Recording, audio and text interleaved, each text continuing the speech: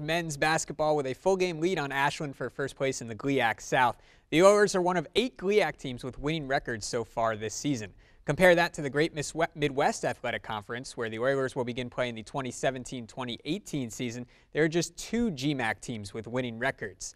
Oiler men tied with Walsh 10-10. Early in the first half of this one, Dylan Kaufman finds Terrence Sullivan at the top of the key. Sophomore drains the triple.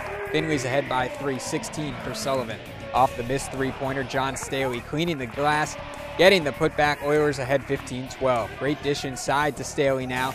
15 points, 8 rebounds for Staley as Findlay is in front by 5. How about Tyler Stern Tucker? Spins the pass inside to Alex White. His two is good. Oilers dominating inside early on. They win 79 57. Martise Kimbrough, 16 points in the victory.